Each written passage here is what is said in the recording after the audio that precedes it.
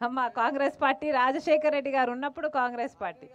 ఇప్పుడు కాంగ్రెస్ పార్టీలో ఏముందమ్మా? ఆ, రేవంత్ రెడ్డి ఒక దొంగ ఉన్నాడు ఆ, దేవుడా?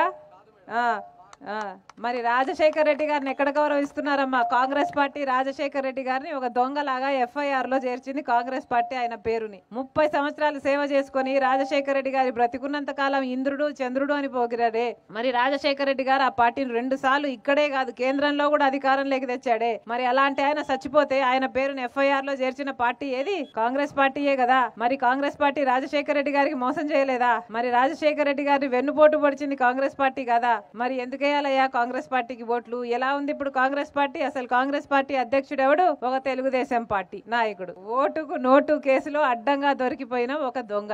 నడపండి అమ్మా నడపండి. వైఎస్ఆర్ తెలంగాణ పార్టీలోకి మీలాంటి వాళ్ళకి ఎప్పటికైనా అవకాశం ఓపెనే ఉంది.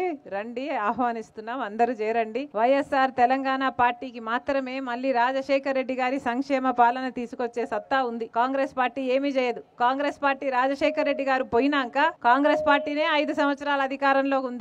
మరి ఏం చేసింది కాంగ్రెస్ పార్టీ? కాంగ్రెస్ పార్టీ సాధించలేదు రాజశేఖర్ రెడ్డి గారి ఘనత. రాజశేఖర్ రెడ్డి గారే కాంగ్రెస్ పార్టీకి ఘనత సాధించి పెట్టారు.